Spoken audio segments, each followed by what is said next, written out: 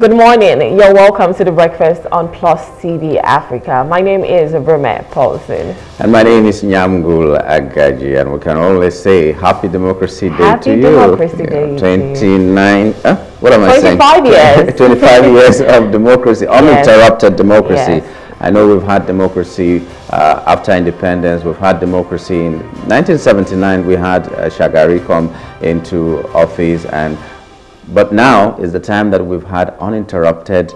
I, I usually, I usually. I'm tempted to say uninterrupted power supply, but we've had we'll uninterrupted uh, democracy. Democracy. for 25 years. It's Yeah. something to celebrate, in spite of all the odds. Yeah, there's been quite some challenges, but knowing that our voices are still heard, sometimes, maybe not all the time, Mm-hmm. um, it's, it's something to be grateful for. Mm-hmm.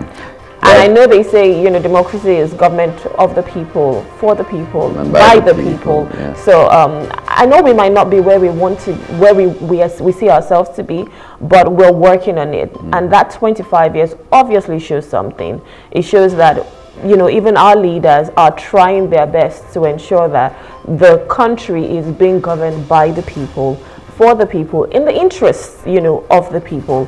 I don't know if we've gotten there yet. And like I said, we probably haven't, but it's a trajectory of good things to come. And hopefully one day in the next 50, 100 years, we'll say, yes, we did it. I, I just want to be alive when we get it right in this democracy, so that I know that when I'm leaving this world, my children will um, will experience something better than what I experienced. Yes. Not hoping that I'll go to heaven and start telling God directly that Mm. remember Nigeria for the sake of my children. No, I don't want that. I want it in my time, and that's why every individual who is Nigerian should do their civic responsibilities. Vote when you're supposed to vote, Mm-hmm. cry out when you're supposed to cry out, complain if you need to, and praise where the, there's need Yeah, to praise yeah. uh, so that we, we move on. Because the bulk of the things that go wrong or go right depend on how much the people lend their voice to it. So it's Mm, really our fault or our glory. Yes, because our, our, our leaders came from us, Mm-hmm. right?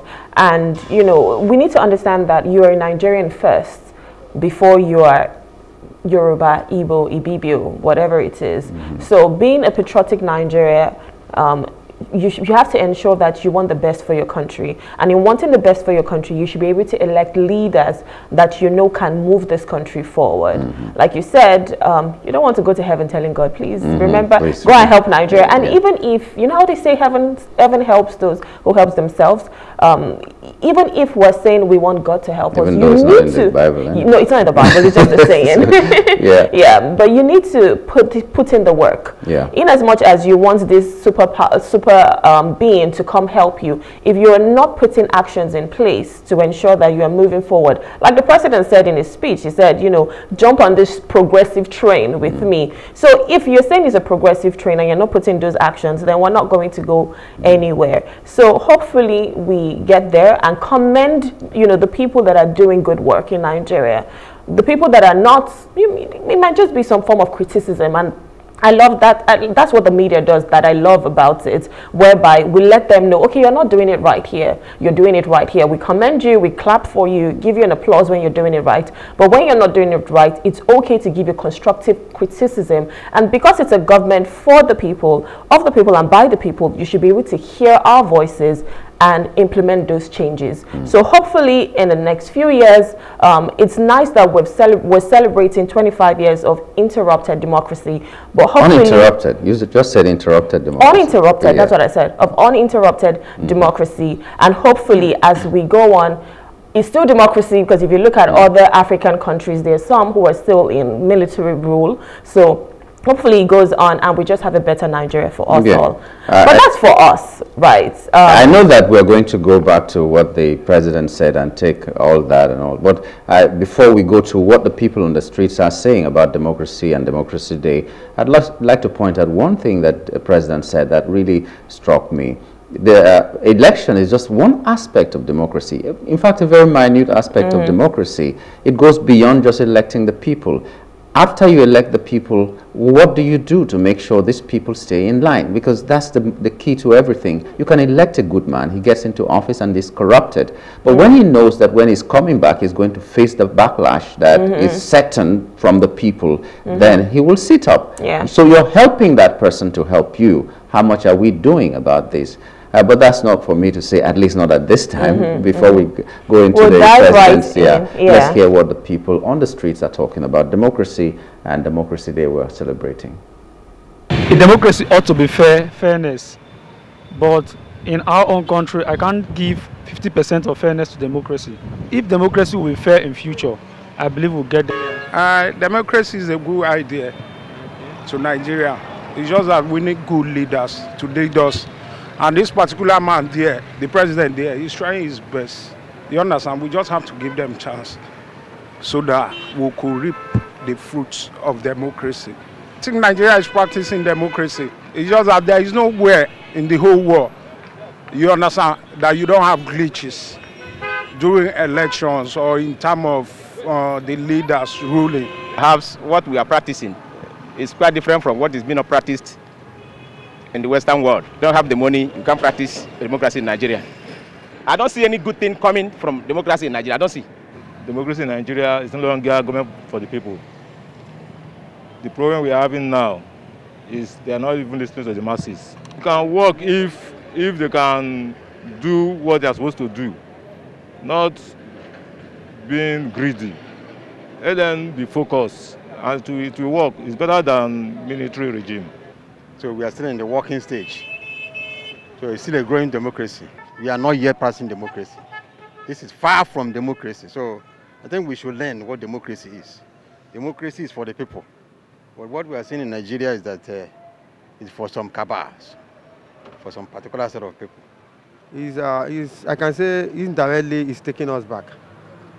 Why is taking us back is that uh, because of the political uh, people that are surrounded by the, the democracy, they have now seen it as a, a way of uh, making their personal, uh, what do you call it, money, unlike during the time of uh, military. But nevertheless, democracy is still better, but it's only in our side here, they are not, they are not passing it, passing it well. It's not practiced the way it's supposed to be practiced, unlike the Western world.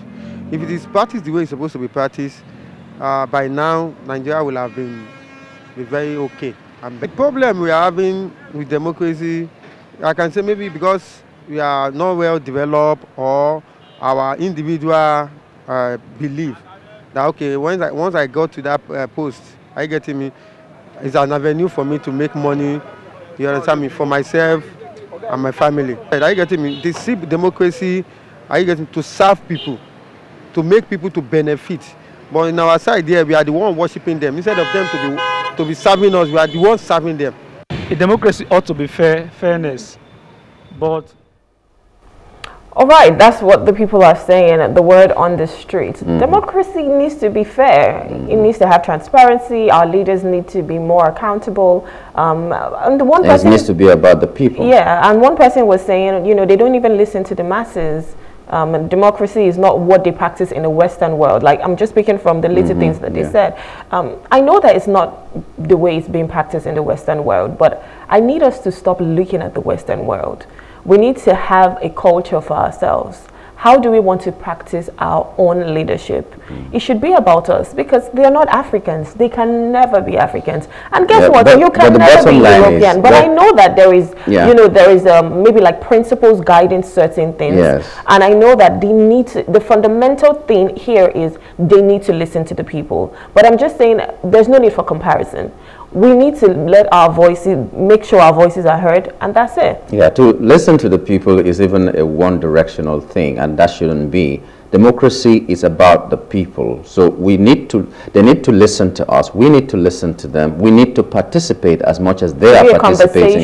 Yes. So that is democracy. Um, we should find a way that works for us, but the fundamental thing is that governance generally and democracy generally, no matter what system you're using, should be about the people.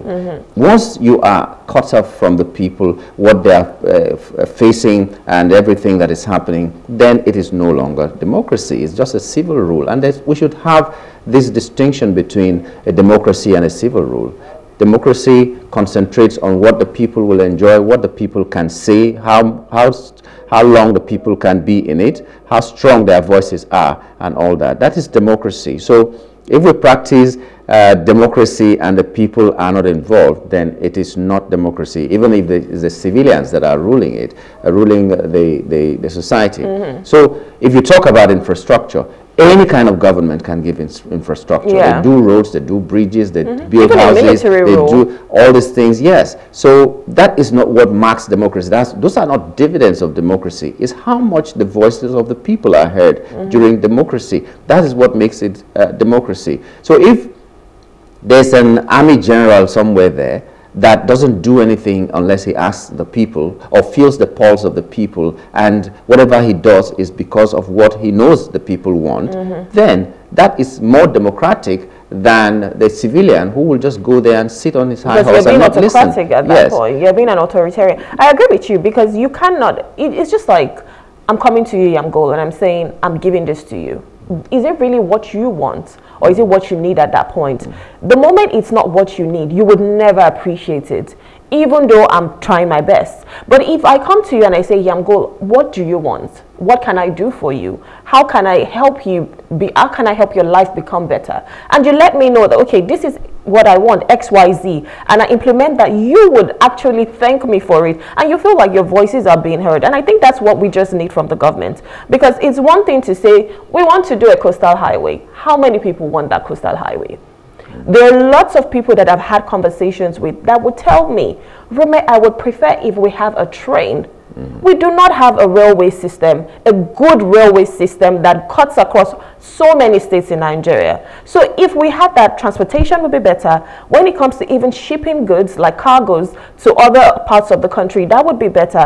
But then you come and you say, I'm giving you a coastal highway. It's a good thing. That was Don't not in the budget anyway. Mm-hmm. It wasn't there. It just, it It's, just it's, a, it's, a, it's a good thing. It's a, obviously it's infrastructure, so it's a good thing. But is it really what we want at the moment? So we might not really appreciate it as much as something that we really want. So I'm sure the government, they're doing their best. They're thinking, how can we help the people? But it is important that you have a conversation with us. Mm-hmm. A- a- ask us what we want. We let you know. You come back and say, okay, we've heard what you what you want. This is how we're going to do it. So it makes it it makes it seem like a community. We're all doing it together than someone at the top saying, this is what I'm going to give you. If you're not appreciative of it, that's your business. And sometimes they will come and tell you that it didn't start in my time. Hey, Mm. you, you think we're fools? We, it didn't start in your time. Maybe uh, there was a document to that effect that there should be a coastal highway. Let's just use Yeah, coastal highway. That's yeah. not the only thing. Uh, but it's also constitutional that every governor can sign the death warrant, uh, the death um, uh, for anybody who has been uh, sentenced to death. You, you sign it so that they kill him, they, you, they Mm-hmm. Execute him. yeah. yeah. But how many governors sign it? That is because the two fundament, fundamental questions are, uh, is it really necessary to do it? And if I don't do it, will I be breaking any law? So you find that you're not breaking any law. You find that that is not absolutely necessary, and then you don't sign it. Are they, are, are, are they not things that are coming from, from, uh, from the past? So sometimes some things are there that have, been, instituted by previous governments and all that, but do you need to do them? If you don't need to do them, find out what is necessary at that point and do it. The president mentioned that democracy is a way of life. Uh, well, it's a good thing, way of life. That's how it should be. Everybody should be involved in it. But the way of life for who? Because it seems as if It's there's a different way of life them, for, for the elite and another Yeah, way of life yeah, for, for the yeah. masses, and that shouldn't be. It's all Yeah. of all of us. It's all about, you know, Nigerians, everyone here, Nigerians in Nigeria, Nigerians in the diaspora, because they also want, most times the reason why people leave is because they feel like the environment is not really conducive for them. And so there might be people who leave for other reasons, but the bulk or the, the chunk of the people who leave Nigeria is because, oh, I, I don't think the system works for me. So as long as we have a good system that works for everyone and we all make everyone feel loved, everyone feel, feel heard, everyone feel understood. That's it. That's democracy. Abacha was a dictator, but how many companies were in Nigeria in Abacha's time, and mm. how many are mm. there in a democratic setting like this one That's that we have? Question. Everyone is leaving. Yeah. Guinness is leaving. Procter and Gamble is leaving.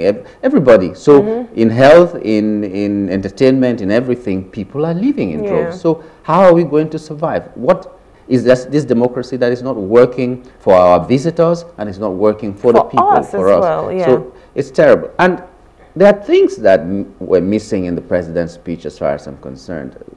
Two of the glaring ones are that I expected him to talk about, because he's talking about democracy, I expected him to talk about maybe he's thinking about reforming the electoral system mm -hmm. to make it better.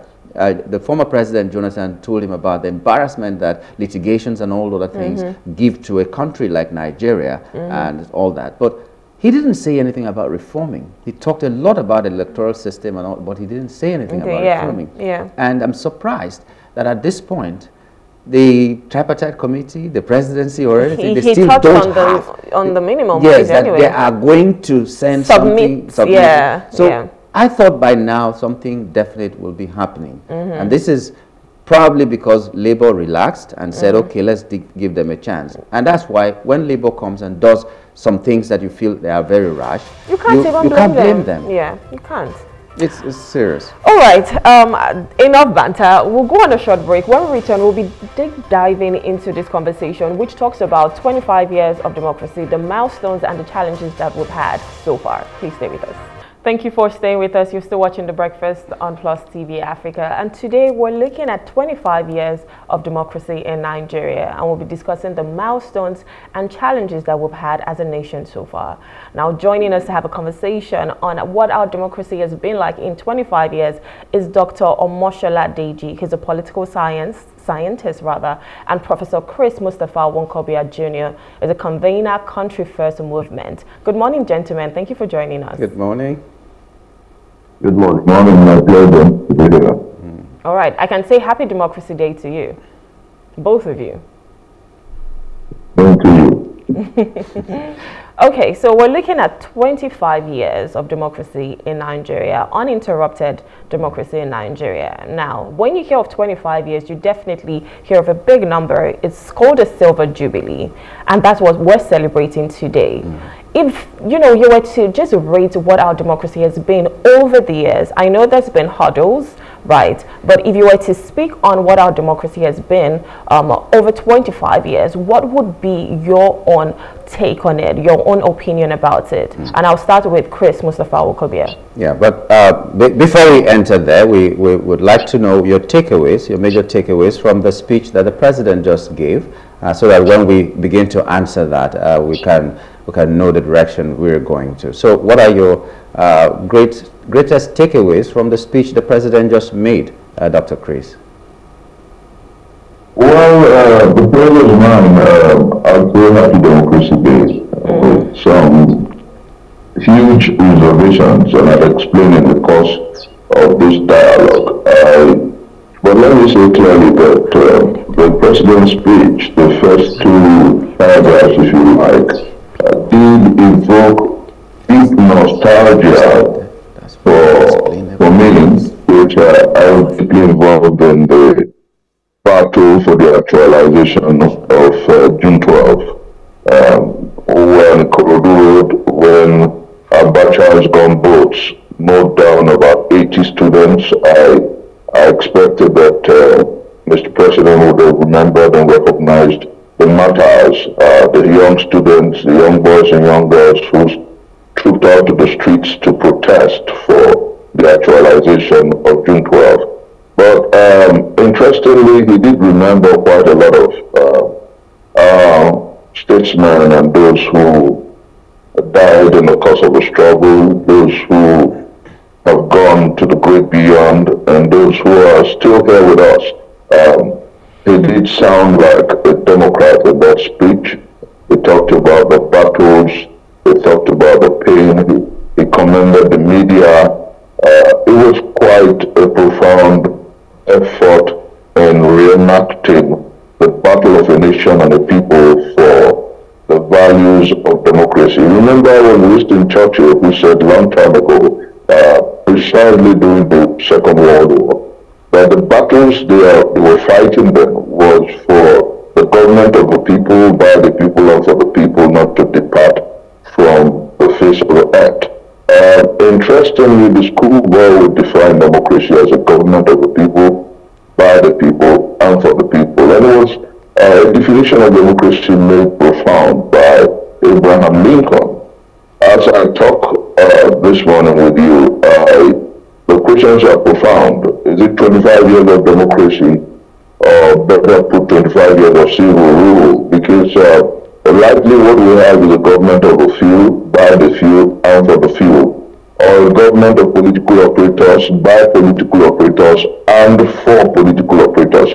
That's the best uh, definition we can give to what we have. Because uh, if we call it a democracy, given uh, 100,000 or 150,000 as minimum wage when members of the National Assembly and political operators receive millions of naira salaries in a month uh, will not be a hard call or a hard sell. But sadly, because it's about a few, by a few, and for a few, certain, certain fundamentals that should define democracy does not exist. What we have at best is uh, um, is civil rule and at worst kakistocracy. Mm. Dr. Deji, what's your opinion from uh, what the president, uh, the speech the president gave? Well, the speech of the president, um, the president made some very valid um, points in the speech. I like the way he started by, you know, remembering those we can call the heroes of democracy and one thing unique about his remembrance of these heroes was that he also chose to celebrate the living. You know, and it's not only those that are dead that celebrated, celebrated uh, Professor Bolaji Akinyemi, is still alive, and um, James Tony, is still alive, and a host of other people. Another unique thing about the president's celebration of those that fought for democracy in our country is that the list is um, bipartisan. He didn't just pick people who are supposed to be um, friends or people who are supposed to be close to him. Ayo Adebanjo, who he celebrated, is one of the most fierce critics of the, the president before he emerged as president. So I kind of applaud him in that regard for at least celebrating the dead and also celebrating the living and, you know, drawing up a bipartisan list which comprises of both his friends and people that doesn't, you know, um, align with him so much in terms of um, political leanings and, you know, um, political orientation. Then um, another thing that I noticed about the president's speech is that uh, maybe because this is the first year of his um, presidency, so the speech may be like um, what we can call all these um, seasonal things, like you know, um, in series, because there are kind of important things that the president should have touched on that um, he maybe intentionally or otherwise, or maybe and that you know refused to um, touch on that. So I was looking for the president to talk about the uh, role of democracy in development because the um, the Western assertion, those that hold democracy us, the assertion is mainly based on three. That okay, democracy is going to bring the entrenchment of rights, then the democracy is going to guarantee you um, freedom, the freedom to operate, and it's also going to bring about development. The president talked um, a little bit about um, freedom and rights, you know, when he mentioned the Nigerian Labour Congress, and he was kind of like applauding that, okay, nobody was um, chanted and all that. Well, I don't think that should have made it to a presidential speech because um, it is people's right to protest, and when their needs are not being met, you know, they have the right to kind of like protest against uh, such working conditions or um, take home pay. So I don't think that aspect that we didn't retreat anybody, we didn't uh, we didn't uh, kind of like um, treat anybody, that shouldn't have made it to a presidential speech because it is a natural thing that is expected in a um, democracy. So the, the aspect of development itself is quite missing and Sadly, that's what most Nigerians want to hear about. If I can content analyze your introductory speech in the studio, it focused more on development. You know, um, if you look into my art right now, you know, it's more on the development. I'm sure if you examine um, Scott's mind too, you know, you see that he will be bothered about the development um, in the country when we have been, you know, um, all these years, and where a system of government that is propounded to kind of like bring development has failed to bring that development in our part of the world. So um, it's something the presidency um, is quite good, but then, you know, um, it didn't touch much on the key things that bothers the mind of the people, you know. But I mean, that set of remembering the heroes of democracy, I can imagine those that are alive now, you know, they, they will feel proud of themselves, which is a good thing, you know. Imagine, you know, a presidential broadcast, the president, the president of the country mentioning your name, your friends and family and little for an action you take, you know, like about 30 years ago. That's commendable on the part of the president, but um, the, the, the speech still leaves some crucial things to be desired. Mm. So, Prof. Uh, Mustapha, um, Ruma asked you a question earlier before I, I just uh, jumped in to, uh, to let us hear what your thoughts were on the president's speech this morning. So we might want to go back to that. 25 years yeah. of uninterrupted democracy. Uh, what do you think? Um, Yango, Ruma, I, I, want to say that uh, in my opening remark, I did um, attempt a run into that question when I said that uh, uh, largely 25 years since May 29, 1999, and uh, it's been more of uh, civil rule than of uh, uh, concern programmatic for the well-being of the Nigerian people. my brother there did just talk about the fact that in the president's speech, the fundamentals uh, which should underline a democratic order, which for, for every intent and purpose the reason governments exist, the protection of lives and property, the provision of social welfare, and better life for the masses of our people, did not uh, feature largely in the president's speech. Um, in 25 years, it's been more of uh, a circuitous rigmarole in 25 years it's more of uh, civil than of uh, uh, making the people the summum bonum, the basis for which uh, democracy exists or subsists.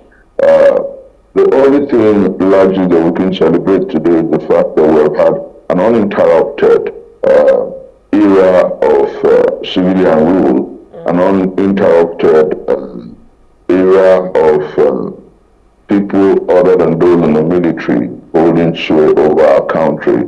Beyond that, uh, what we have, we still have challenges of uh, freedoms, freedom of speech, freedom of press.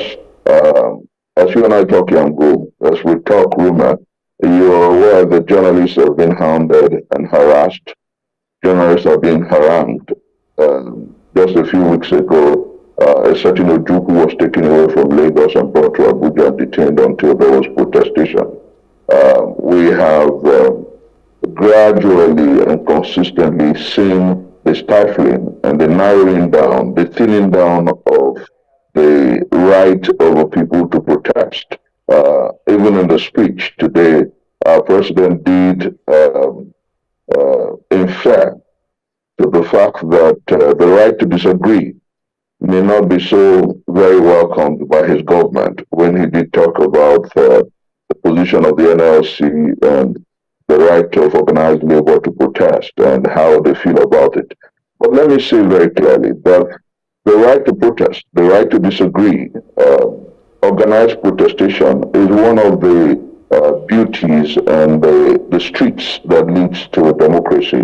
You know, um, I have said time and again, and I want to repeat it here, that the street to freedom, the street to greatness, the street to democracy, the street to uh, everything that is necessary to make society fair is paved with the freedom of speech, the freedom to disagree, the freedom to hold assembly, the freedom to protest.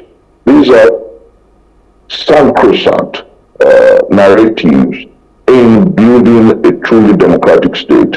a truly democratic space, a truly demo- democratic place. And save and accept those who should pretend our nation understand its realities, you know, our search for the blessed, blessed republic will be like the wait for Godot. And I want to say clearly here at this morning that uh, I think that what we must beg of Mr. President and those who pretend our enterprise is to understand that those who disagree with government, those who are very critical of government are actually not enemies of states. They are truly those who love our country and they are those who want our country to do well. I, I, I, want to say, Roma, that uh, going forward, I, I pray that the media becomes immensely proactive in asking strong questions. I pray that the civil society rises to the challenge in asking proactive questions. I also pray that those who um, are around Mr. President consistently telling that um, we all stakeholders in the Nigerian enterprise, those in government and those out of government, and that critical thought and critical opinion is necessary to make them do right. I also pray that uh, uh, looking back into 25 years and uh, laying a template for the years ahead, we must understand that we have no other country but this, and that praise singing, sycophancy, and the likes will do this country no good. Uh, the time has come for us to consistently call out government when it's doing wrong and consistently applaud government when it's doing right. Uh, that is the minimum that we expect going forward. And maybe in the course of this dialogue, I would um, uh, be the chance to score uh, the successes. I think we've had about five administrations since 1999. Perhaps we'll be uh, able to say uh, where we've done very well, where we haven't done well, and where we must proactively as a people demand that government does right. Okay. So thank you so much for that. I mean, we all hope for a Nigeria that would be what you've just described, looking back at 25 years. And of course, we obviously need to keep calling them out for accountability. Okay, so I'm going to go to someone else who just joined us. We're just being joined by Comrade Mark Adebayo. He's the national spokesperson, Coalition of United Political Parties, CUPP. Good morning, sir. Thank you for joining the program. Yeah, good morning. How are you? Good morning, viewers. Good morning, Prof. Good morning. Good morning. Good morning. Happy Democracy Day to Happy you. Happy Democracy Day to you. All right, so um, I'm just going to get your opening remark on where we where we are right now as a nation. We're celebrating 25 years of democracy which we'll call a silver jubilee. And i can only think of 25 years anniversary of a married couple. You mm -hmm. definitely see kids grown. You see dividends. You see love. You see flourishing um, in the family. But then in nigeria we can't really say we're having those dividends of democracy. But i want to get your opening remark on that on how we've come here in 25 years.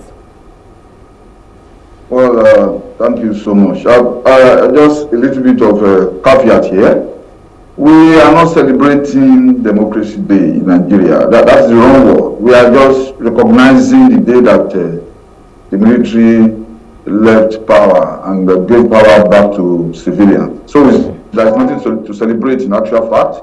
We are just marking it. We are just, you know, it's just a date because uh, there is nothing really to celebrate in terms of the economy. Nothing to celebrate. At a 3.7 percent inflation rate, there's nothing to celebrate. At over 70 percent of uh, uh, of our rules are motorable at uh, the level of uh, high insecurity, agency, kidnapping, armed robberies on a daily basis. Even in the center of Abuja, people are getting kidnapped on a daily basis, consistently. Consistently. So, what are we celebrating? Democracy itself is not, uh, uh democracy itself is not an achievement. Democracy is a means for to, to be able to actuate good governance, justice, you know, rule of law, and so on and so forth. We have democracy has been either uh, totally realized or has become dictatorial or it has, it has become an instrument of underdevelopment, has become an instrument of repression, oppression, an instrument of corruption, whereby the ruling clique and have decided that okay, the government is meant only for themselves. When they say democracy is for the people by the people, you know, these people they don't believe in that uh, description of democracy as such. They just believe that whoever is in government must. It, it, it, it's, it's not about winning election. It's about state capture. So we are experiencing state capture, and when you have state capture, the people that are in power believe that every they arrogate every uh, benefit of state to themselves. You know, so to themselves. So just like Louis XVI says that uh, l'État c'est moi, the state, I am the state. So that is the kind of situation we have. The, the people in government are living well. The, the, the people in government have enough security. The people in government are able to educate their children in any part of the world. You cannot say the same thing for the regular Nigerians. You cannot say the same thing for the regular salary, and you cannot say the same thing for the for the hard-working Nigerians, even people that are in the in the formal se sector. You know, uh, the the president this morning said uh, his reforms have caused hardship, but they are necessary. Mm. You know, he said his, his reforms have he, he recognized further there's hardship with the land as a result of his of his policies. But he said it's reform. There are no reforms in this government. This government, has, there's a total difference between reforms and uh, staccato of neoliberal Confucianist uh, policies that, that, are bringing hardship, that are bringing underdevelopment and integration in the country. These are not reforms. I want to see a reform whereby I have a president who is able to connect with the hardship, with the, you know, the, the needs, the aspirations of the Nigerian people. I did a reform whereby I will a president that says that, look, uh, I am cutting down all my aides, uh, personal assistant, special assistant, executive assistant by 70%. My salaries and above. I'm looking for a reform whereby uh, my president will not spend 21 billion to, re, to, to renovate the, the, the, the residence of the vice president. I'm looking for a reform whereby we will see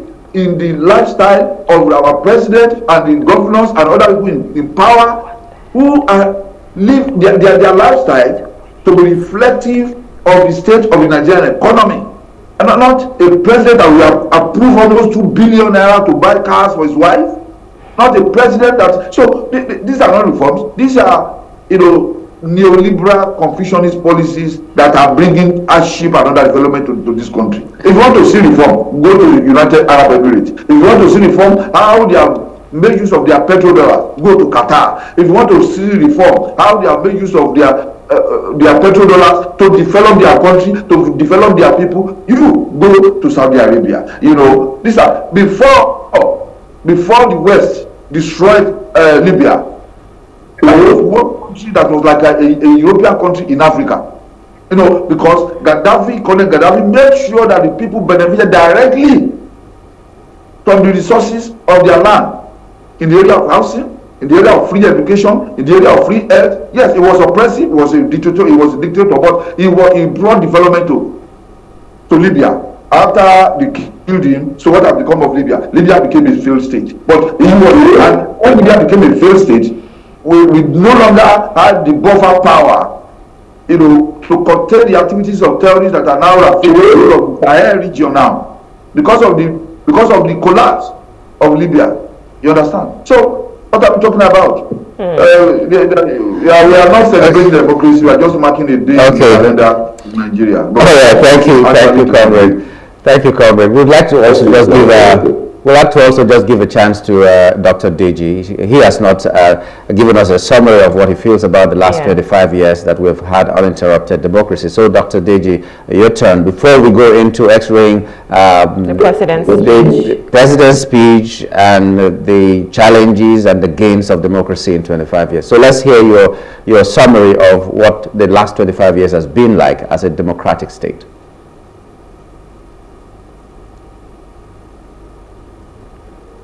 Dr. Deji, can you hear me?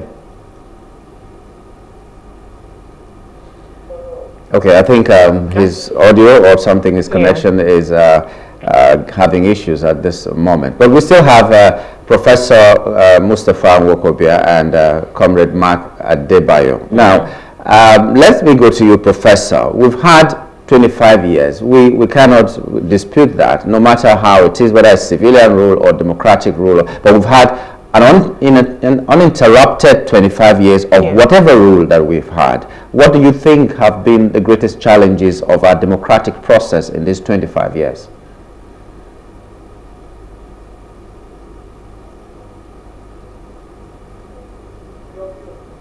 I think you might be muted, so you might have to unmute. Yeah, we can't hear you, doctor or prof. Hello? Okay, okay we can hear you now. Can you hear me? Yes. Can you hear me? Yes, yes go ahead. Can you ask that question again, please? Okay, the question was, what do you think has been, uh, or what are the most challenges that we've had in the past 25 years of uninterrupted whatever we have? Let me say clearly that um, first, uh, one of the greatest regrets for the progressive left was that when in 1999 Abdulsalami Abubakar handed over power to civilians, uh, we did not trust that administration and its promises. So we let people who were not prepared to govern take the reins of leadership. And that's one of the greatest regrets of the progressive left. And between 1999 and today, what we have seen is largely um, a space dominated by those who perhaps were very unprepared for the challenges of governance. Um, um, what I attempt to do here in answer to your question is to say that uh, what appeared relatively promising was perhaps the first eight years that we had President Obasanjo, who attempted a few reforms. Uh, before 2001, uh, telephony was more of an elitist thing. And with the advent of the GSM innovation, uh, your gate man, my security man, uh, our domestic staff have access to mobile telephony, and it has helped grow private businesses. Uh, outside that and a few flashpoints, we have seen, like I said initially, uh, what can be described at best uh, civil and at worst fascistocracy, where a few individuals who perhaps have been opportune to emerge in our political kaleidoscope have made the best of a collective tool for selfish and egocentric purposes. Uh, that's why I agree with my brother when he was talking about uh, what we have as just a memorial of uh, a date in our calendar. Perhaps that date when Nigeria stepped out uh, on the 12th of June 1993 uh, to exercise their rights to elect who should govern them. And uh, which gave birth to an election that has judged the freest and fairest in our historicity. Besides and beyond that, uh, what we have uh, people who look at our National Assembly, for instance, is the most expensive National Assembly practically in, in God's world. And look at our executives. We have presidents, we have had presidents who have as much as 300 aides. The Senate president who had as much as 380 aides. And, and they all dip their hands into our collective cookie jar, into our collective patrimony, and they dish freebies as though uh, Nigeria were uh, better than the United States of America. You have lawmakers who earn uh, cumulatively more than the American president earns in a year. And you ask yourself, what kind of leadership uh, does that when we are adjudged the country with the largest population of very poor people in the world. You know, our poverty index uh, is benumbing, befuddling, and uh, and government doesn't think that something must be done. In calling out the people to tighten their seatbelts, government doesn't even think that it should lead by example. And I, I think Yangur, I think as we address uh, 25 years of civil rule, one, what we must do is locate the issues in proper perspective. Because it was the Holy Book that said that they shall know the truth and the truth shall set you free. You know, if you don't want uh, the truth, then we'll continue in this circuitous rigmarole. If you don't want the truth, then we will continue in the journey to nowhere. I, I want to say fundamentally, because uh, one of the greatest, uh, and in, indeed laughable, that rather than address the fundamental issues of state, rather than tinker with the laws as to how it affects resource control, devolution of power, rather than address fundamental issues as, as to how it affects creation of wealth and the growth of the economy, rather than address fundamental issues as to how it affects education, healthcare, and security of life and properties, what we have is a government that is interested in wanderlust.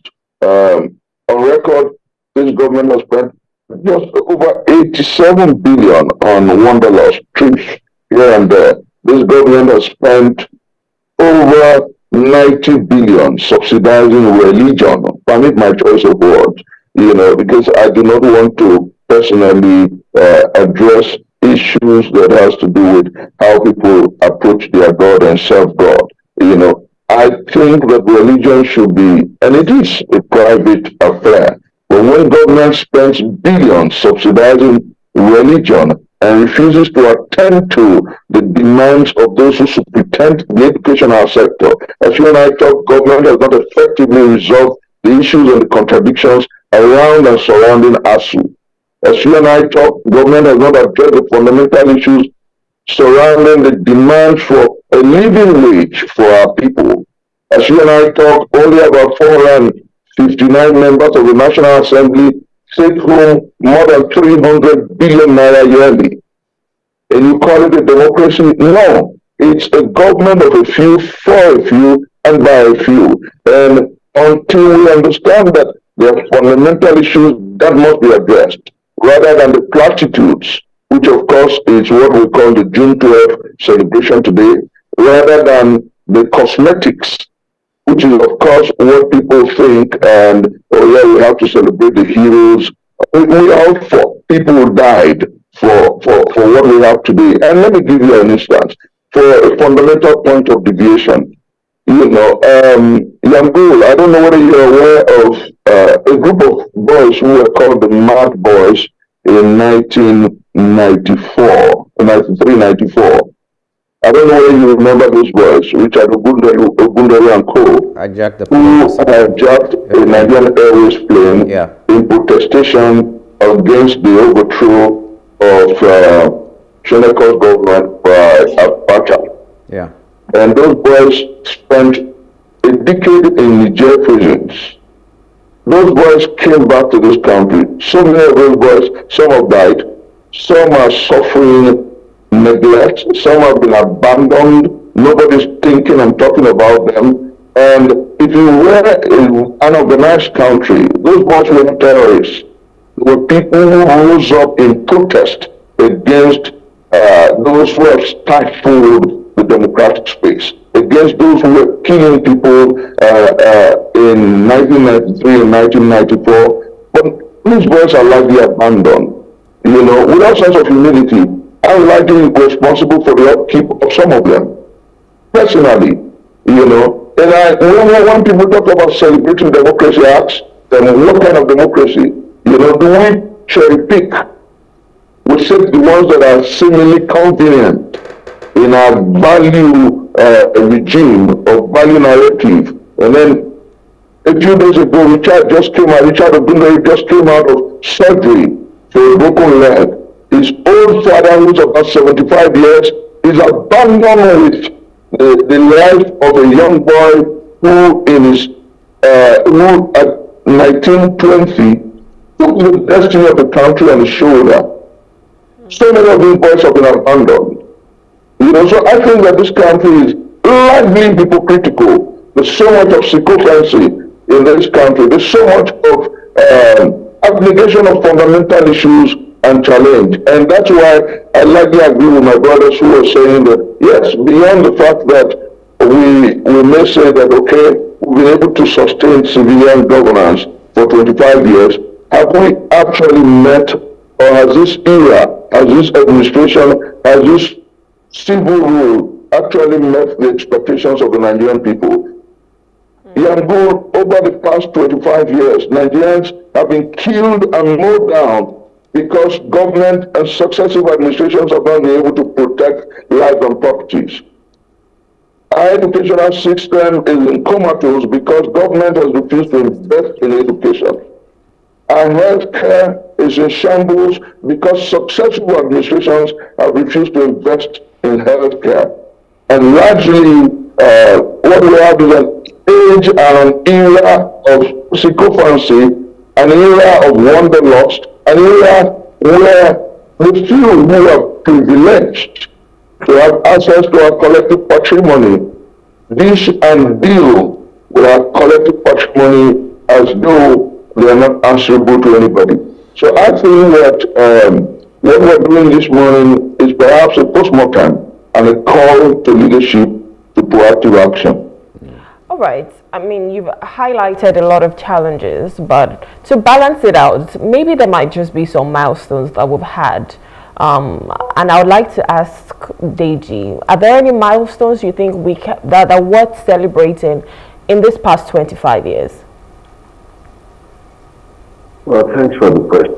First, what I can say is um, the milestone that we have is that um, regardless of interest, as whether personal, whether ethnic, whether socio-cultural, one of the milestones is regardless of the flow in the election, you know, regardless of how autocratic the leader is or how despotic the leader is, we've been able to, you know, I think it was ruggedly transform from one government to another, despite you know the flaws in our democratic process. But you see, on a day like this, you miss a Yaradua sincerely, in the sense that you know you wish that when you see flaws in the, the democratic system, that these are obvious flaws. Whether those um, flaws are ratified by the Supreme Court, you know, doesn't change um, it in the mind of the people. So I miss a Yaradua on a day like this. I wish I see a president that we kind of like admit that the electoral process has great flaws and try to kind of like um, say what he's going to do or what he is doing to make sure that we strengthen our electoral process, which is where the democratic process itself starts with.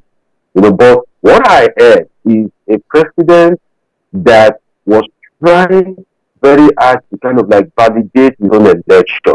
Now, you really don't need that on a day like this because whether the Supreme Court, just as the case of former President Yaradua, declare the declare you the validly elected winner, it doesn't change the fact that during the election, people were killed. You know, um, there, there were um, speech urchins, hooligans, political hallelujah boys carrying, you know, um, microphone all around the street, threatening people that um, they shouldn't come out to vote if they aren't going to vote for your party. You know, um, that was being um, rule out the, the, the fact that um, INEC did not keep to the promise of the um, election itself. So the truth is, I would have loved to see a president that doesn't seek to validate itself, that leaves validation for the people and for the next election, I would have loved to see a president that would have said, okay, our democracy is here to stay, but it is not perfect. This is what we have done to start towards perfection, and this is what we are committed to do to make sure we have a kind of like more um, transparent um, electoral process. And um, I think Bob gave um, a name, kind of like the democracy. I think maybe he mentioned a plutocracy or something. Um, I cannot to that name which is um, judicracy. You see, um, on a day like this, we need to look at the electoral process itself because democracy is a government that you must come in through election. So we need to look at the process of the democracy itself before we look at the, the, the, the, the benefit the democracy itself will bring.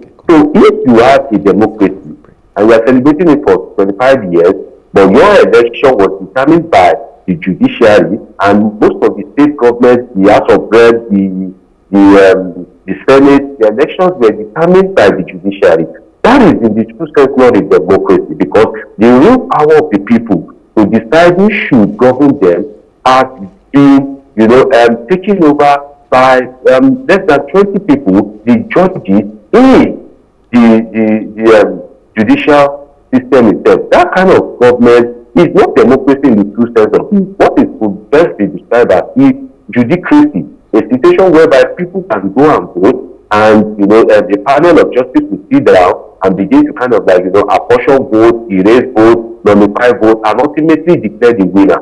And whoever they decide that wins the election is automatically, you know, the, the president, the governor, or the senator, you know, um, uh, as the case is. So, to what we have to make is, is uh, educated. Then the president talks about this um, the, um, hardship, you know, um, hardship that it, it is painful but necessary. You see, um, in the life of a man, in the life of a country, things cannot be going on, you know, fine and smooth. It can't just be like um, a one-way traffic, you know. But the thing is, when there is hardship, when there is reform, just like in the family, you know, um, if the father has money, everybody should be able to feel it. And when the father is broke, everybody should be able to kind of like, you know, um, adjust and understand that the father is broke.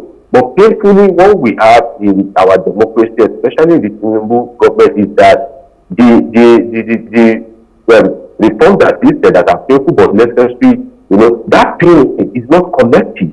That pain is selective. Selective hmm. in the sense that you push all the pain to the masses. You know, the pain should be collective. So you, you can't say, you know, people should enjoy the pain, whereby at the end of the day, we all know that when the days of the pain will come, it will be taken over by corruption because they won't even let the masses to kind of like invest the dividends of all these reforms. So we should have a system whereby the pain that is whatever people are experiencing should be should be collective. The pain is not collective if you use 21 billion naira mm. to renovate the the the, the, right. the home of the vice president. So in other words, you have used 21 billion to renovate the home of one man mm -hmm. in a country where people are living like destitute in a country where you know poverty is written boldly on people's faces. You know, the the pain is not um, okay. Collective if you are point, if you have the highest number of ministers in our democratic system, and this minister we have eight, there are eight we have eight, there are eight to eight we have special assistants and all that. That is not, all right, Dr. Know, it, it's not, it's not a good form of um, management. So yeah. I I disagree with the president and Nigeria have to bear pain if Nigeria could get pain, definitely it should be a collective pain. And we should be thinking okay. of how Nigerians will no longer bear pain again, which is not to keep borrowing, but to see how we can empower the state for them to manage their resources in such a way All that right. if you are coming into electoral if you are coming into um, an electoral office, you are okay, coming there with great wisdom, great intellect to run the affairs of the state so that you can generate your resources and fund your government and pay tax to the cost of the uh, of the federal government, not that you go to um, Abuja so, so, so I, I like the fact that you've can you hear me, Dr. Deji? Then your state is going to suffer. Can you hear me? Okay. So I like the fact that you've highlighted some things and you've talked about elections because the president in his speech even said we cannot have um, a democratic nation without having to have elections, which is great. But then the government have been, um, you know, they've been criticized by lacking transparency and fairness in elections. Um, elections are being hijacked and people are being bullied. Now, I want to let us marinate on these words by someone. He, in fact, is a public affairs analyst, and he says Nigeria's democracy has been hijacked by imposters who promote personal and private interests at the expense of the nation's viability and its future, and that is Chidi Amuta. So I want us to just marinate on this, and we'll go on a short break where we just take our commercial break, and when we come back, we'll have more conversations on this. Please stay with us.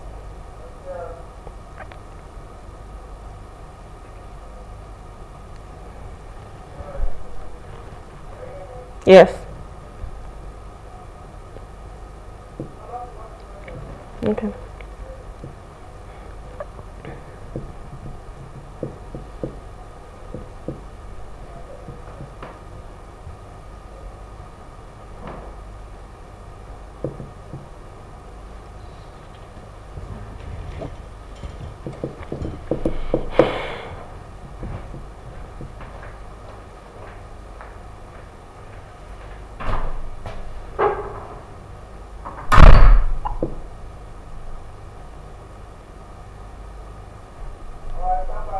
Okay. Disco. The names. Let me take the names again.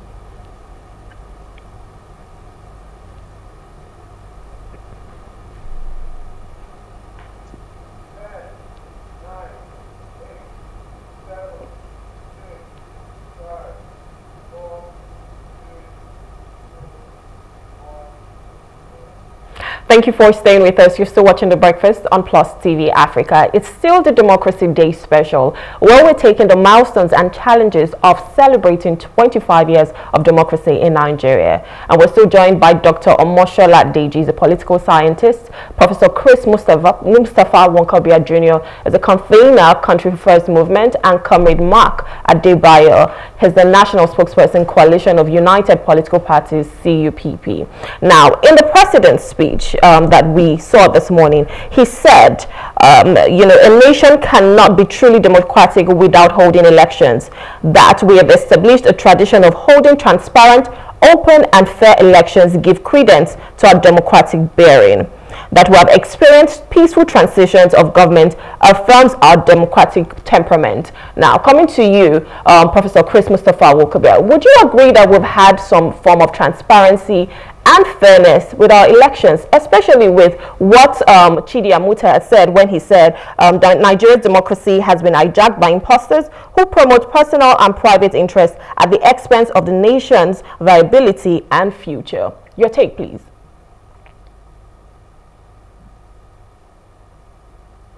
I think you might be muted. You need to unmute. Let me say very clearly that successive administrations have excelled in the rape of our democratic uh, space. Let me say without equivocation that uh, consistently those who pretend our enterprise have perfected the art of electoral larceny. Uh, my brother here uh, did say, I think with Mark, who did say at some point that uh, uh it was uh, Umar who at some point acknowledged that the election that got him to power badly flawed and began the process of uh, a rework of our electoral uh, programmatic, of our electoral um, order. But sadly, um, we saw in 2023 the most flawed election in our historicity Mm. And I say this without equivocation. We saw the snatch it and run away with it programmatic. We saw an unwilling umpire who has refused after 12 months to acknowledge that the election that brought him to power was largely flawed. And we have seen people who are consistently gaslighting Nigerians uh, we saw an election that deepened our front lines as a nation. We saw an election that threw decorum and decency to the winds. We saw an election that by every means, every parameter, every margin of decorum was mortally flawed. And that is not because I supported a candidate who didn't win, allegedly because INEC and and it was my brother here who said that uh, perhaps we have decided to redefine democracy to an order of the courts, where the courts tells us who actually won. You know, let me say, Ruma, that uh, we've never seen the kind of the litany, the deluge of electoral petitions that we saw in 2023. We've never seen anything like it before. And that is because Nigerians have largely lost faith in the electoral process. So if there's anything this administration must do, it is to begin a holistic overhaul of our electoral programmatic. Because congruent with the uh, electoral process, the transparency, the dignity, the decency of the electoral process is uh, what we call democracy. Democracy is simply about the choice of the people about the right of the people to determine who governs them and who should superintend the nation. You know, if that right to choose who must be your leader is taken away from you, then there's a major problem. And that's what we, we have today. Uh, I think that one of the uh, expectations I had of Mr. President was that he was going to address the mortally flawed election, even if it's to say that his government is interested in a holistic electoral reform. Even if he's uh, unwilling to admit that the election that brought him to power is mortally flawed, he should have at least said that he's going to carry on uh, with the demand for electoral reform and the demand for electronic voting and voting programmatic. But very sadly, very sadly, uh, this government has consistently tried to gaslight the Nigerian people. This government has consistently tried to make Nigerians look away from the mortally flawed 25th of February election uh, 2023 and then the one that followed after in March. Uh, I think that if we must deepen the frontiers of democracy, uh, we must understand that there is no democracy without the right of the people to vote. And if that right is impugned, if that right is damaged, if that right is discredited, if that right is uh, is messed up by those who should pretend the state, then you cannot you cannot comfortably and confidently say that you have a democracy. So I believe that like the owner, uh, this government must look at the transparency and the believability of the electoral process and electoral protocol. Okay, uh, well, Comrade Mark uh, Debayo, you are the national spokesperson of Coalition of United Political Parties. Would like also to, uh, for you to give us that litmus test that you would want this, uh, our electoral process to pass because in the last 25 years, we've, we've had this uh, system of government, whether we call it democracy or civilian rule or all that. But the president did say that there are so many democracies that we have. One of them is the political democracy. So how would you rate the political democracy in your own words? And what litmus test, like I said, would you like our political process to pass for us to be able to trust it, to believe in it, and uh, to participate in it as we should?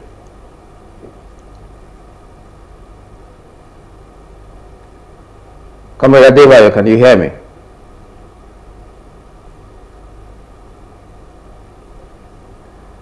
Oh, okay, now, okay. Uh, I can hear you now. Okay. Because uh, the, the, the line was breaking and uh, I think the network was uh, messing up uh, okay. our conversation. Do I need to... But I, I, was able to get the okay. uh, direction of your question. your question. Go ahead. In terms of uh, the identity and the status and realities of our electoral processes. Yes.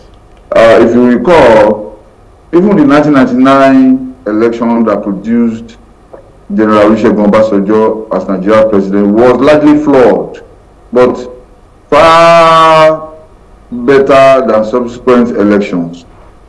There may be one election that we could say was uh, mm, was like uh, transparent uh, that, that reflected the, the real wishes of the people was the was the singular election that brought in Buhari uh, in 2015 uh, was it 2014 or what? So um, uh, because of course people were fed up with Jonathan and they thought Buhari was the uh, was going to be the was going be our liberator, not knowing that uh, were, we, are, we, are, we are going into a war from fire pan to, to fire. So there, there is actually no election that you could say is started, but the one for last year, the, la the one for last year, 2023, uh, was something that uh, we should not, we should never experience again in this country.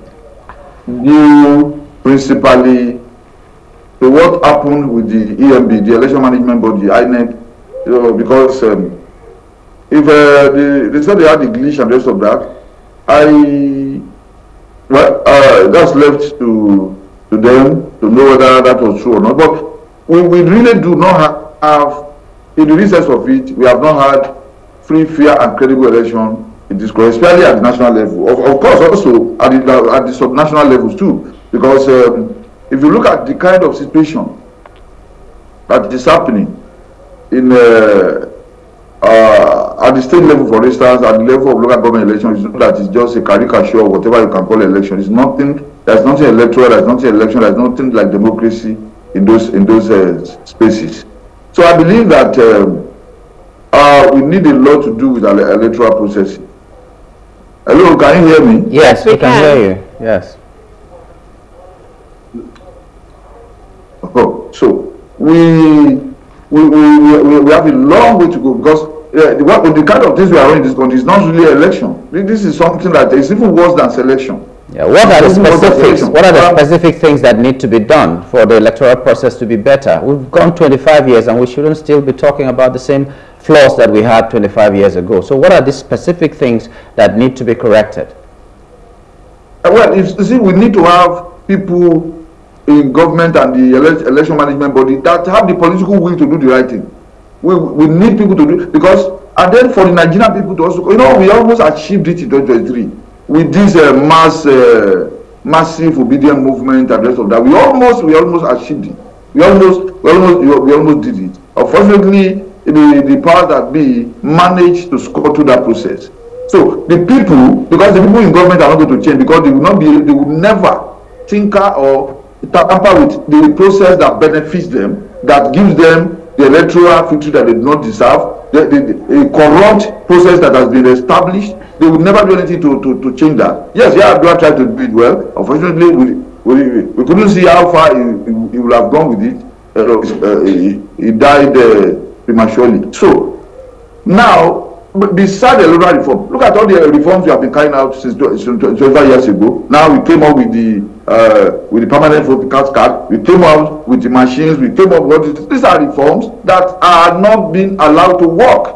They are not being allowed to work because somehow the politicians have found the evil politicians the bad politicians the corrupt politicians have found a way to corrupt the system no matter the technology you introduce no matter the science you are bringing. So they they just make sure they muddle up the the, the transparent processes of the elections and that is why the people the people if we are able to muster the kind of movement that was moved last year into our election at a greater at a higher level at a greater velocity come 2027 i think we might just be able to achieve a kind of political revolution that we desire in this country. So that is the thing but for us to think that these people in government or that these people who are handling our elections will be able that we have enough fear of god enough patriotism in them enough sense of justice to be able to do the needful to ensure that our electoral processes are transparent credible free and fair. No we, we, are just wasting our time. So the people must get organized in a better way to take the destiny of this country out of our elections our, into our own hands through the through the ballot through the it, it is achievable. We almost did it last year. It was it was almost achieved last year. So with better organization with greater strategy we will be able to achieve it. And once that happen well be able to allow it uh, it was done in senegal. If senegal could, could do it we should be able to do it. We should be able to do it in our recent history in africa. We saw last year or even this last year how the senegalese rose against a system that was defi depriving the people the benefit of their democracy and elections. And then they were able to produce the the the, the president that they really that everybody believe oh this is the fair this is the result of our of our votes so we, sh we should be able to do that in this country and we must be able to do it. And, All right. the responsibility to do that is on activists is on professionals is on the general citizenry. But we are not going to wait for the people in government and people in the institutions the establishment to do it. The people must improve on what we did last year and we shall get there. We shall get there. Amen But to the that. responsibilities is a collective responsibility of the people. Yeah. All right. So, I mean, that's for political matters and elections. Um, in a democracy, we also expect, in fact, some economic democracy, as the, as the president said in his speech. And he talked about, he said, I understand the economic difficulties we face as a nation. Our economy has been in desperate need for reforms for decades. And then he goes on to say that, you know, um, we need to reform the economy. So he said, I, as I continue to reform the economy, I would always listen to the people and I would never turn my back on you. Now, this is the president's speech. Obviously, as we know as of today, inflation is at an all-time high. General inflation is about 33.69% and food inflation is at 40%. Um, the environment, the business environment is not really sustainable for businesses, and so most manufacturing companies are leaving Nigeria.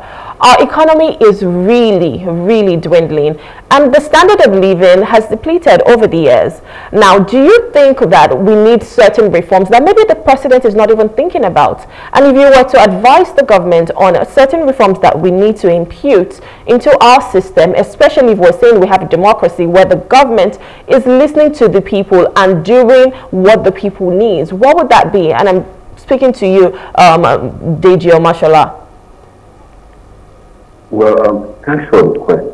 You see, I'll try to link my answer with what um, my brother Mark just said, you know, as regards the um, Senegal scenario. You see, as regards the um, economy, you know, making life more convenient for the people, you know, vis-a-vis the reform of our electoral process, you see, we need to revive and remodel the human mind, both, you know, um, those in power and those that are, are those that are governing, you know, on. We need to have this revival of the um, human mind because, so for example, the, the last um, election, you see um, a, a situation whereby people went all out, but then their hopes were, were died, and that has killed the interest in, you know, politics and, you know, um, democracy. So the, the next election, we might be witnessing political uh, apathy. Now, how does that link to the um, economy and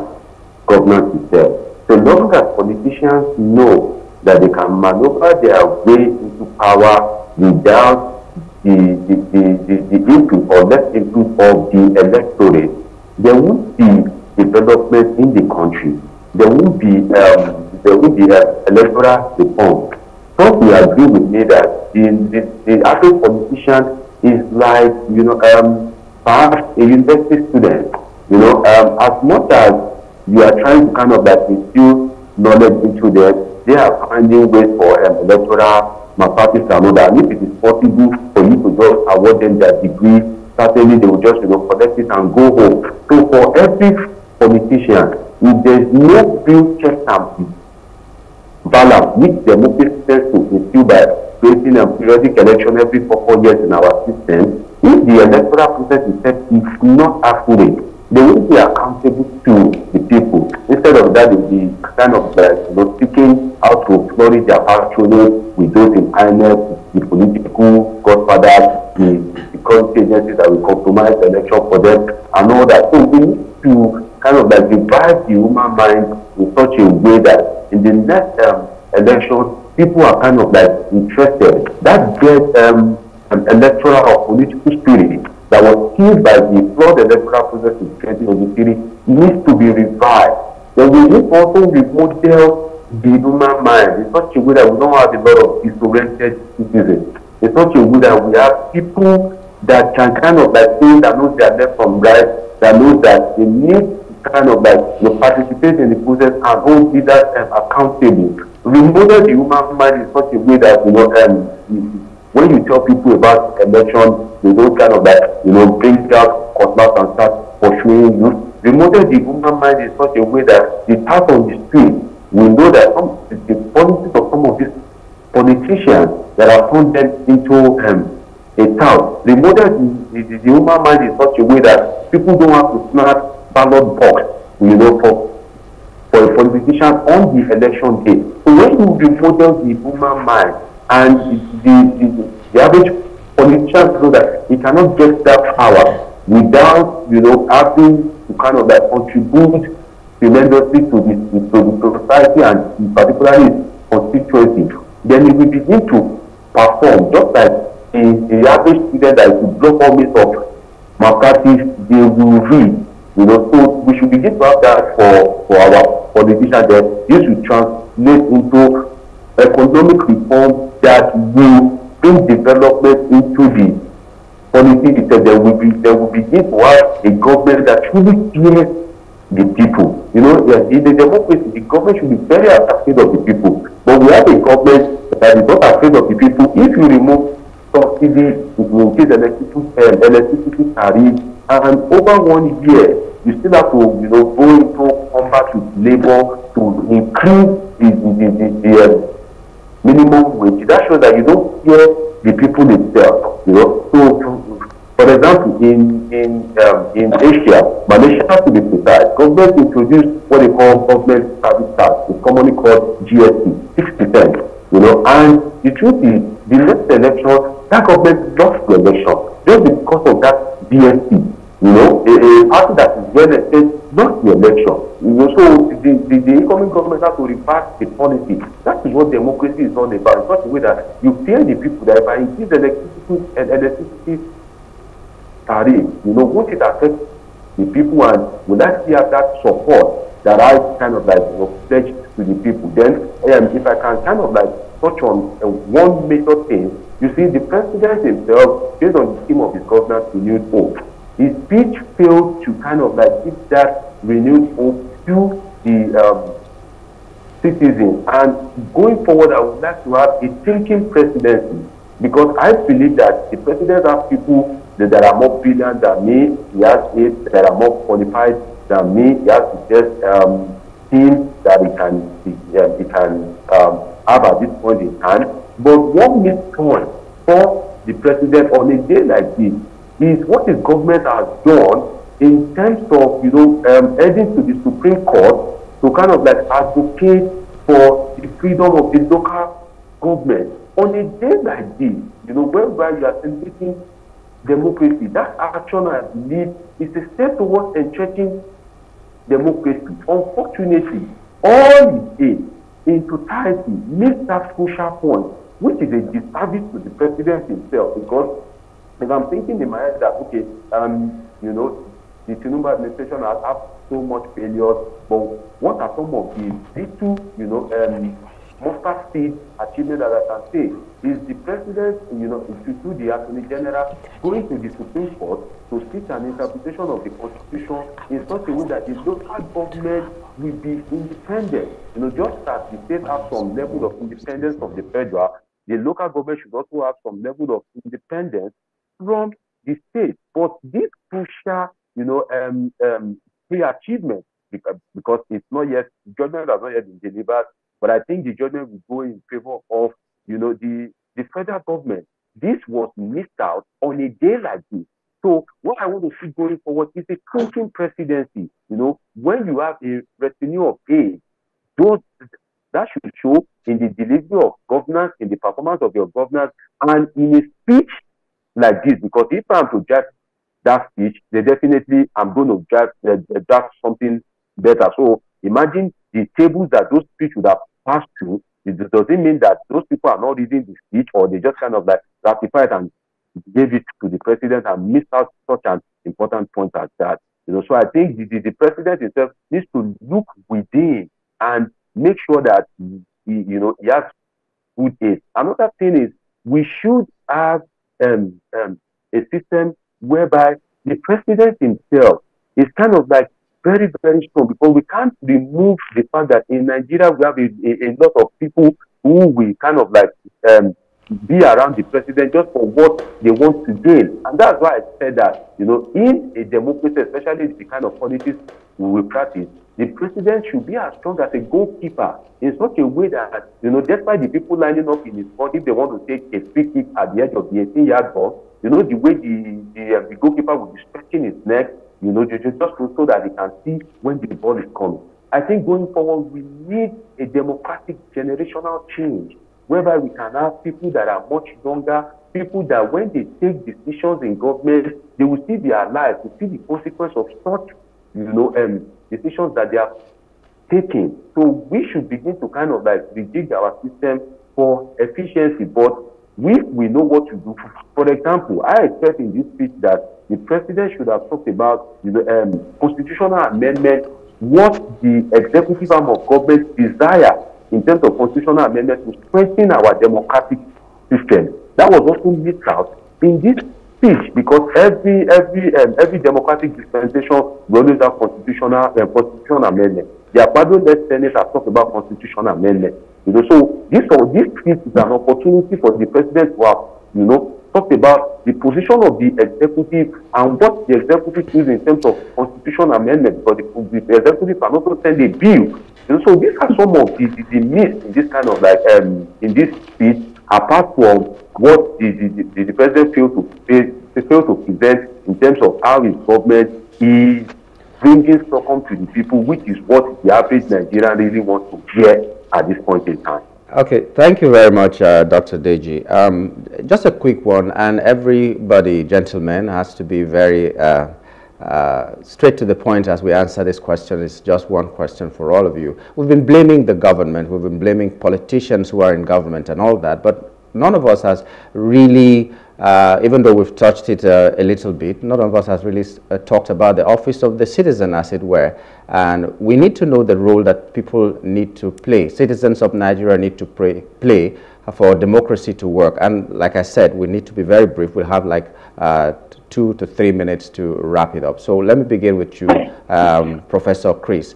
What is the office of the citizen failing at that has brought us here and what can we do uh, after, uh, to make it better? Very briefly, please. Yeah, good. Yeah, good. Can you hear me? Yes, we can hear We you. can hear you.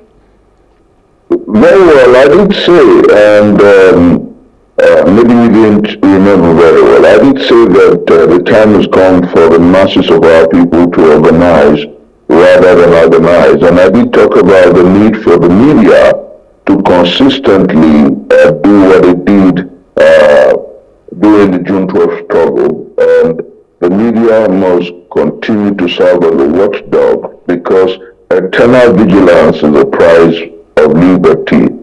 We must understand going forward that this country is our collective patrimony. And I did say, um, and I want to repeat for the often time, that the pathway to freedom, the pathway to democracy, the pathway to freedoms uh, that is necessary to take our country out of the mother to promise is for citizen participation, citizen action. The media must rise up, the civil society must wake up, and we must demand uh, that government become responsible and responsive to the people.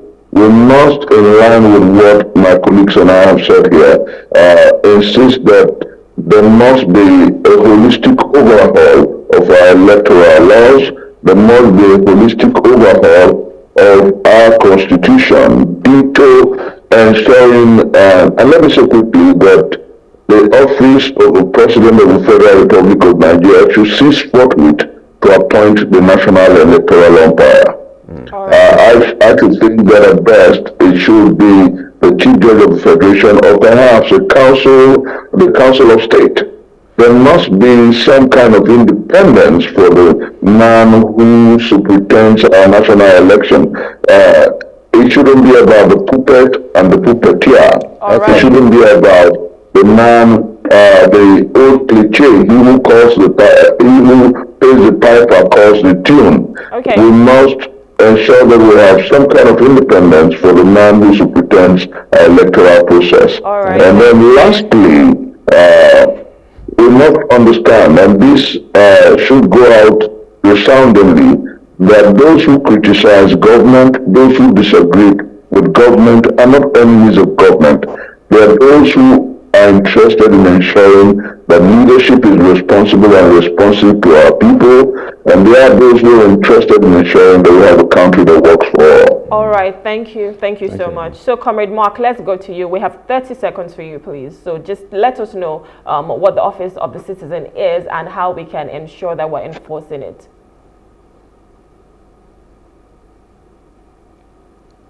Comrade Mark? Hello? Yes, please go ahead. Yes? Okay, can you hear me? Yes, we can. Uh, I didn't hear that question. The line was breaking. The Office of the Citizen, how can we enforce that whereby our voices are being heard, especially when we're celebrating 25 years of democracy? You have like 30 seconds, please, to wrap up. Well, well, okay. What is important is that the office of the of the citizen, which is the most important office in the land, anyways, Yes. is, is for us to be proactive in, in terms of uh, demanding, demanding and getting what is necessary for our economy to, to, to move forward, for our democracy to be better, for our elections to be more transparent. With the, the citizen must be continue to be active and being proactive in demanding as a as a right the best that we could get from our government. We must never, we must never retreat. We must never surrender. We must All never right. retreat. We must never surrender. We will continue No pushing. surrender. We continue, you know, advocating until we get what we want from the system. That is what the citizen must continue to do consistently. All right, thank you so much. And finally, Dr. Deji, would like to get your comment on this as well.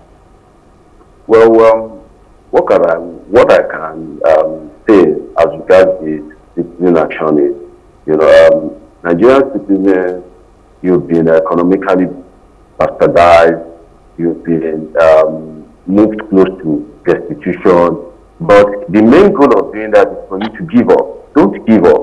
If you don't give up, you would, you know, um, get there one day. And lastly, don't um, see your vote as a drop in the ocean and begin to see that your vote, you know, um, doesn't count. That you already know want to put there, who they want to put there, that. No, see your vote as a crucial part of the ocean, not a drop in the ocean.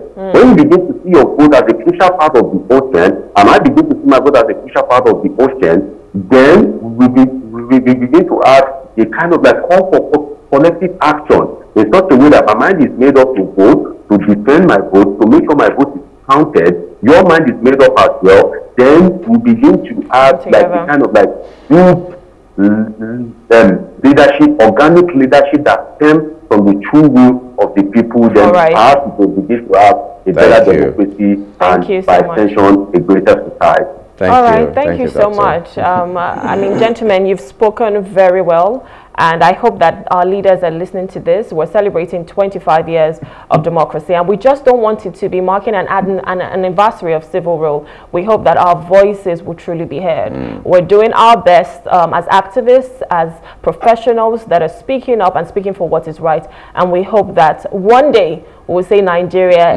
is practicing true and de- genuine democracy. Thank you so much, gentlemen, for coming. It was lovely having our Democracy Day special with you. Thank you so much. Thank you. Thanks for God bless Nigeria. Thank you. Amen. All right, we've been speaking with Dr. Deji Omoshola. He is a political scientist.